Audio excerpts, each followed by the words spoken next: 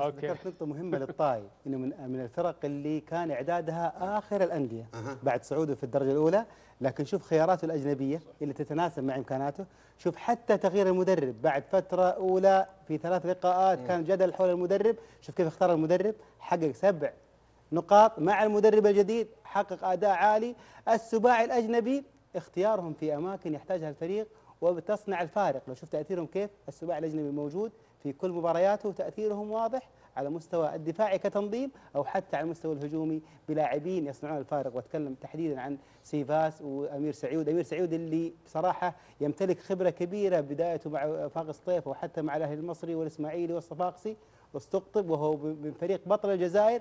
واستقطب كذلك بعدها مدرب فريق بطل الجزائر اللي هو شباب بلوزداد وهذا ما صنعه ه- يعني هذا هذا التحول الكبير. واليوم في نقطة تغييره بعد نصف ساعة في وضع كان فيها الطائي سيء فنيا يوضح لك إن هذا المدرب يعلم خب- خبايا الأمور ويعلم امكانيات لاعبين. كابتن